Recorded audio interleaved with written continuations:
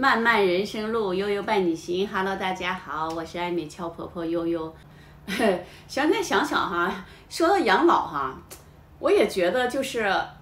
哎呀，特别不可思议。就是我的人生当中哈，所有就是涉及到人生重大决定的，全都跟我规划的不一样，而且全都是以一个就是特就微不足道的这么一件事儿，就改变了方向，就包括我这个养老哈。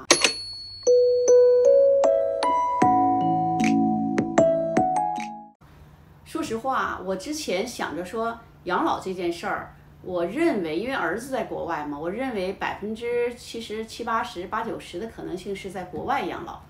呃，我其实在国外还去看过养老院，呃，除非是说我儿子他们回来了，有可能会考虑哈，也不能说是从来没想过，至少百分之七八十是没想过要回国，而且也没想着说现在去想这件事儿。我想着说那件事情很遥远。至少我要等到七十岁再考虑就来得及，所以呢，就是别人在跟我探讨的时候，我从通常跟他们说，我说，哎呀，不急不急，我七十岁也来得及啊，现在完全没有那个必要哈。现在因为为什么说呃呃不需要那么早呢？也那我对我来讲，儿子在国外，那我就在国外了。然后我现在那我去做什么也没有什么可做的嘛哈。所以因为国外的养老体系呢，它比较成熟。呃，你也没有说你不需要个人去做什么，就反正按照年龄是分三个级别哈，就按照那个程序走就行了。可是我确实是想过说，呃，在国外养老的一些问题，我是考虑过啊。这个我以后单独会会来那个分享哈。确实说到这儿，我想起来我还答应过一个网友，说我我来分享一下为什么我考虑在国内养老，为什么不在国外养老。啊，这个单独一个话题，我再谈一谈哈。那今天我就突然想到说，这个人生不容易这件事儿哈，我一下就想到我这个养老也是这么大的一个决定哈，就完全没有想过的事情，结果就是因为跟朋友陪着朋友去看养老院，这一看养老院，就我就把我看动心了，就是我之前认为那些不好的东西。哎，在我得到了一定的答案以后，我忽然觉得这是一个不错的选择。然后，这因为疫情回来回国哈，就办了这么这么大一件事儿哈。然后这件事儿一办呢，很多事儿就跟着变化了。其实最重要的是涉及到这个资金的安排，因为在之前我还尽力的、尽量的是在要要就是要把钱想办法去转出去。所以你会做相应的去安排，然后现在呢，我一再决定在国内养老了，那我这个钱呢，我就不需要想办法转出去了，在税务安排上、资金安排上都发生了变化，所以想想哈，这个你看这个人生哈，就是对我来讲，对我个人来，包括我的这个，我以前也分享过，包括我的这个退休内退，我四十五岁，我应该是四十五岁内退的吧。二零零五年哈，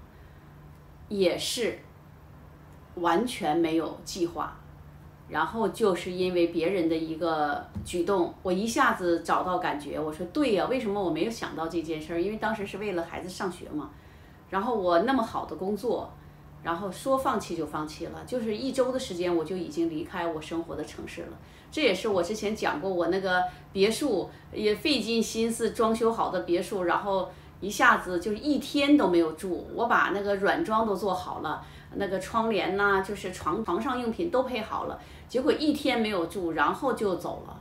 就那么快。因为我本身是一个特别喜欢规划事情的人，一规划都规划好好多年以后我要怎么样怎么样哈。可是就这么戏剧性，我所有的人生重大的转折点全是，呃，那只看不见的手引领我的。根本不是我来规划的，所以我在这方面很相信。现在越来就是心态变得哈，就是遇到一些重大的事情，然后它突然间出现一个变化，跟我跟我原来的预想不一样了，呃，或者是说比我原来预想的不好了，不如我想象的好的时候，我心里会有一个安慰，我心里会有所期待，我会想着说没关系，我相信一切是最好的安排，等到最终的结果。有可能会出乎意料的好，我会有这样的一种感觉了，就是我冥冥之中会觉得那个神秘的、我看不见的这个力量哈，它总能让我就是转危为安之外，还能让我比我自己安排的计划的好。啊，这个是我的一个，就是这么多年哈，就一点一点建立起来这么一种感觉，呃，包括就很神奇的，我跟大家分享过，就是我们家从我二十多岁，然后我们家就我就喜欢一个木头的那个小画儿，然后那个小画就一直跟随着我。你看我搬家搬了这，我都搬了无数次家啊，因为我本来就爱买房子。就爱搬家，爱装修，所以说我就搬了无数次家，就是所有的东西几乎是很多东西都没有了。可是这个小花就一直伴随着我，然后就伴随着我一直到了我到了温哥华的，应该是在一八年啊一七年，一七年我不是在那个温哥华市中心租了一个海边的公寓嘛，就到了那个一八年，我才回国的时候，我看到那张画，我才意识到。那张画，它竟然就是我住的那个公寓很近的那个帆船酒店五帆酒店，就是那个五帆酒店啊！而且那那下面写的那段话，呃，就是我看见什么这么漂亮的景色，我要分享给你，就是我的爱人什么的。呃，因为我过去呢也不认识英文，即便我移民到了这个温哥华哈，就那么多年，那就七八年哈。我知道了这个那个那个五帆酒店，我也没有看过那个画，因为这个画整天就在眼皮底下，就是熟视无睹嘛。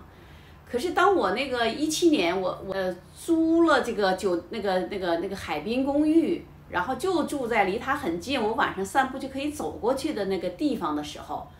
我才看到这个画，这张小画伴随我这个，等于是我俩结婚以后没多久就有这张画。就伴随我整个这个大半辈子这个人生的这张画哈，就你说我就住在这张画的边上了，所以你说人生是不是很奇妙啊？所以在我身上就发生了很多这种非常奇妙的事情，然后我就隐隐约约的觉得哈，难怪我这个莫名其妙的就跑到温哥华去了。这在几十年前，其实那个看不见的手，那个神秘的力量哈，就已经提示我了。只是我没有，我不知道，我就把这个东西一直带在身边，一直放在任何一个家的门口上，哎，就是这样，就是这么神奇。到现在这张画还在我们家这个门边上挂着呢。我相信将来我去了养老院，我也会把它带过去。哎呦，想想我不知道这是什么感觉哈，嗯，很很奇妙的感觉吧。然后包括我今天这些资料哈，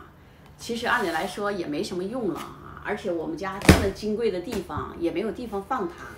之前呢，在我姐家的那个下房里边放着。然后去年回来，我姐说：“哎呀，你这些东西都要发霉了，你快点拿走吧。你还有用吗？不用我给你扔了。”我后来想想，我说还是拿走吧。这段日子对我来说是一个封尘了一段，呃，一个很重要的我的一个人生节点吧。然后我拿来以后也没地方放，给它放床底下了。今天要找那个我老公的这个。这个叫啥？叫那个出生证明哈！哎呦，我一下子就想起，就想起来这这堆资料了。我说赶紧翻一翻，结果根本没有。哎，可是翻了这个资料啊，让我感慨了半。哎呀，我这一打开话匣子，就就聊的收不住了。我刚才看了看，就已经是二十五分钟了哈。我这个视频一般最多也就十一二分钟，所以这已经是超了很多了。那么我今天就不聊了，呃。那个今天的视频就到这儿，谢谢大家收看，拜拜。